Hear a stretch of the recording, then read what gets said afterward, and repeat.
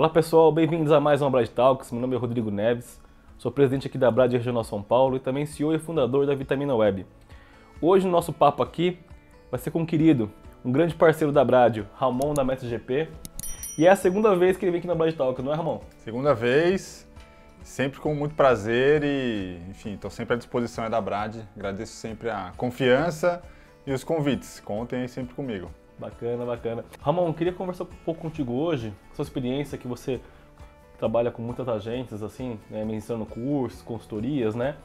É, já estamos praticamente indo pro, finalizando o segundo ano pandêmico aí, onde essa, esse, esse novo normal aí trouxe um monte de possibilidades para o digital, muitas mudanças em processos, muitas questões de adaptação e na parte de gestão de projetos não foi diferente, né?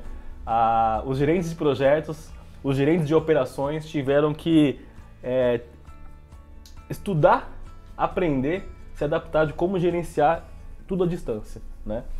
É, Para começar nosso papo, queria que você falasse um pouco sobre isso. É, você acha que conseguiram? Está é, sendo possível ou tem muita agência ainda com dificuldade? Legal, Rodrigo. É um tema super importante mesmo, né? Enfim, como você falou, a gente está indo aí pro segundo ano quase, né, completado aí de, de, de pandemia, né, a gente está indo aí para um ano e meio já para quase dois anos.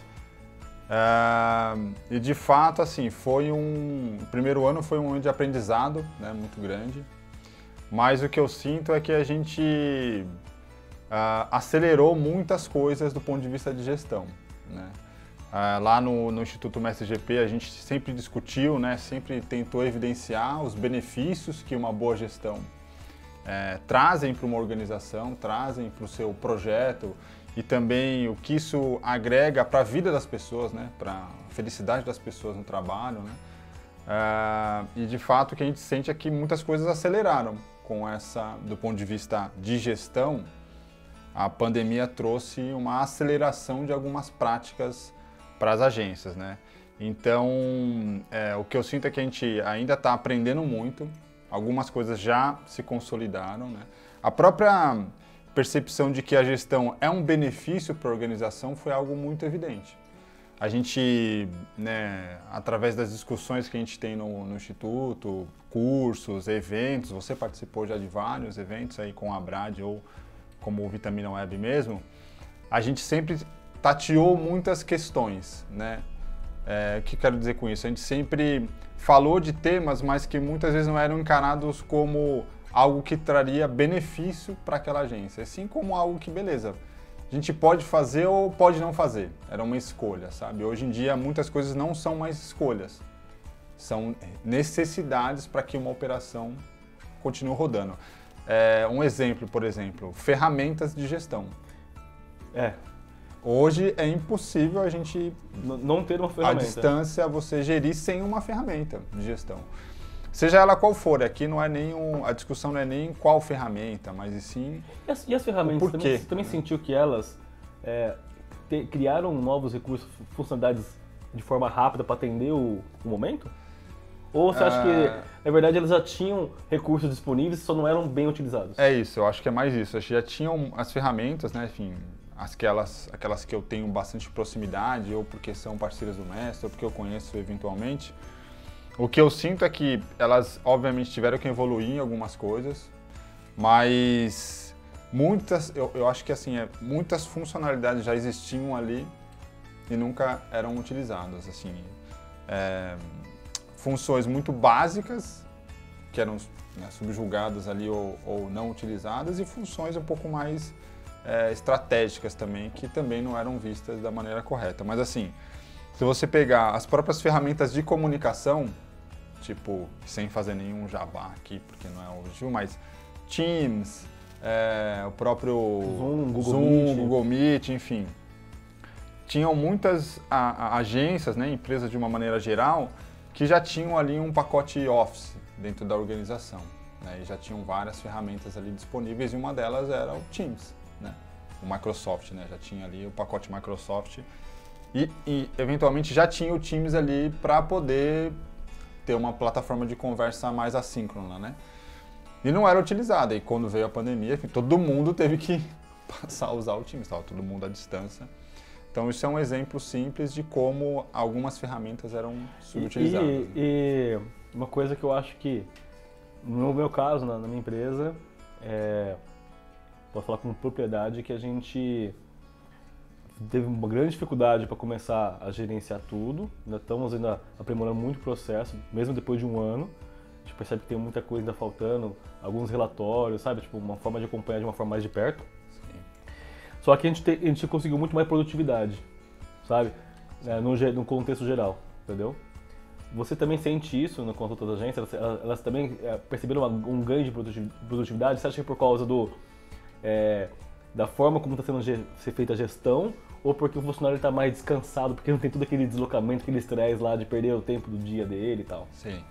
É, essa é uma, uma grande discussão, né? Eu acho que e aí eu vou colocar bem o meu ponto de vista daquilo que eu tenho escutado, enfim, e lido bastante também. Ah, eu acho que no começo da, desse, dessa, desse momento que a gente está vivendo, ali março e os três primeiros meses, quatro primeiros meses, a gente teve de fato um ganho de produtividade. Acho que a gente sentiu isso é, muito por conta desse sentimento que você falou. A gente está em casa, tem a questão do deslocamento que reduziu, é, você tem ali aquela experiência de, de se sentir num ambiente mais aconchegante, que é o seu lar, enfim, você eventualmente ganha essa produtividade. Você aumenta ali a sua, vamos dizer assim, a sua felicidade no trabalho, não que para o escritório não, não seja uma coisa infeliz, mas enfim, você está num ambiente um pouco mais aconchegante que é o seu lar, né? Você não tem essa questão de deslocamento, trânsito e tudo mais. Só que é, a gente está numa situação que ela é, ela é forçada de alguma maneira, né? E muitas pessoas não estavam preparadas para isso. Né? Tem esse, a gente tem que sempre pesar por esse aspecto, né? Muitas pessoas tinham a possibilidade de ter uma estrutura mais bem preparada para o trabalho remoto e muitas pessoas não, não. não tinham. E, e, também eu acho, que, eu acho que o tempo, muito tempo nesse mesmo Exato é, mesmo ambiente, isso também já, já é depois de um tempo estranho, né? Exatamente, que é onde eu ia chegar. A gente teve esse ganho de eficiência, né, de produtividade, mas agora a gente sente, tem até estudos que falam da fadiga da pandemia, que é onde é, você começa a ter um, essa estafa de de de estar tá com a sua liberdade né, privada ali. Então, se você escolhe estar em casa é uma coisa. Se você é obrigado a estar em casa e ainda tem toda a questão é, emocional envolvida, né? De, e a, toda a questão de, de você ver pessoas próximas com problemas, enfim, qualquer ele que seja, que seja relativo ao que a pandemia traz. Então você começa a ter essa fadiga da pandemia, porque você não consegue sair dessa situação. Então você começa a ver a sua produtividade também cair. Não, muitas vezes não é por uma questão direta da empresa, não é que a empresa está é, fazendo com que a pessoa produza menos, mas é porque o contexto onde você está inserido te faz ter mais essa fadiga emocional. E aí, Entendi. obviamente, isso impacta no trabalho. Então, agora a gente está nesse momento de discutir, né, pelo menos no que a gente tem feito lá no MSGP, até o próprio comitê de boas práticas que a gente tem, a gente tem promovido essas discussões para entregar para o mercado essa visão de como a operação vai ser ou como ela está sendo afetada por conta desse momento. Então, acho que a gente vai ver daqui para frente essa discussão é, de como contornar essa fadiga do trabalho remoto, né? Como é que eu contorno isso? Porque muitas pessoas também vão querer optar por manter esse trabalho em casa, né? Por manter essa. Você, você acha, Ramon, também assim que as pessoas, é, porque você falou da ferramenta, né? Um pouquinho antes, né? E eu acho engraçado porque assim, às vezes quando você abriu um chamado interno, uma tarefa, né? Você colocava assim lá, landing page, criar aí a, descrição, aí o corpo da tarefa, né? Criar landing page para o cliente A. Aí o cara criava a tarefa, aí ia lá na mesa do fulano, filho do fulano, ó, a landing page, aí dava o briefing pro o cara. O briefing era ali. É. É, agora sim, lógico, tem, tem muita call, call acontecendo o tempo todo, reunião cada meia hora, tem, tá uma loucura isso também. Só que as pessoas tiveram que aprender a escrever, né? De novo, né? Realmente é para escrever um briefing, passar, porque por mais que faça call, você não tá do ladinho o tempo todo, né? Sim. Assim, pro cara levantar, tipo, você vai pegar um café, cara, o que você achou daqui? Não tem mais negócio de mostrar na tela, né? Sim. Então, tiveram que aprender. Isso, isso, isso, isso é uma coisa, um ganho, um ganho bom, né? Um ganho bom, exatamente. Gestão, né? Se você for pegar qualquer pesquisa, ou pelo menos acho que as maiores, a grande maioria das pesquisas que tratam do tema gestão, e a gente tem uma lá no, no MSGP, que é o Panorama da Gestão de Projetos, que está pública também, já fazendo aqui um convite para a galera. A gente faz todo ano, quem quiser baixar está lá no site do MSGP, a edição do ano passado. Um dos principais problemas de gestão é comunicação. Não é ferramenta, não é processo, não é método, é comunicação. Né? E hoje, a comunicação nesse modelo remoto, ela, ela ganhou mais importância, como você falou nesse caso aqui. Antes eu colocava uma tarefa e eu tinha possibilidade de chegar na, nessa pessoa a qual deleguei essa tarefa e discutir com ela pontos de vista, se ela entendeu ou não, e até muitas vezes passar o briefing. É o que você falou, colocava né, uma descrição muito básica e ia lá conversar com essa pessoa depois, frente a frente. Hoje eu não posso fazer isso. É, então, problemas de, de comunicação são os grandes causadores de erros em projetos. Porque daí quando você não tem uma comunicação clara, você não consegue setar expectativa, você não seta qualidade, você não seta é, o que, né, o que você vai ter como resultado final daquela demanda. Então, você fazer uma boa gestão da comunicação com o time, principalmente, ela está sendo muito isso, isso foi benéfico importante. também, não apenas é, para a criação de tarefas internas, né? Até do, do, do, do, briefing que vem do cliente. E também. eu ia chegar nesse, nesse ponto. O último ganho de questão de comunicação é de como você se relaciona com o teu cliente. Como é que você extrai essa informação dele, porque, enfim, também não é uma, um julgamento, uma crítica aqui, mas muitas vezes o próprio cliente, por qualquer motivo, o próprio briefing dele é muito pragmático, né? muito simples. Muitas vezes essa informação que você falou que a pessoa coloca na tarefa é o que ela recebia, né? Preciso de uma landing page para o lançamento de um produto. Você fala, cara, tá, mas essa landing page vai atender ao quê? O que você espera? Né? Enfim, quanto tempo ela vai ficar no ar? perguntas meio básicas que não eram feitas, eram descobertas durante o, o desenvolvimento é, daquele, daquela tarefa. E isso gerava muito estresse, né? Então você hoje já tenta municiar o teu time do máximo de informação possível, por quê? Porque se ficar uma falha na comunicação, ou você vai ter que abrir um Meets, ou você vai ter que chamar essa pessoa em alguma ferramenta de comunicação instantânea, ou você vai ter que ligar para ela. Tudo isso já gera uma tarefa extra. Né? Antes era só você levantar da sua mesa e conversar com ela. Hoje você tem que ir lá no Meets, criar um, uma agenda, mandar para o invite. Ela vai receber esse invite, você vai avisar ela, vai tentar ver na agenda dela se ela pode falar com você. Ou seja, você tem que fazer muita coisa para poder conversar com essa pessoa hoje. Então, é, a parte da comunicação ela tem, tem sido muito importante hoje num, num, trabalho de gestão de uma equipe, de um projeto.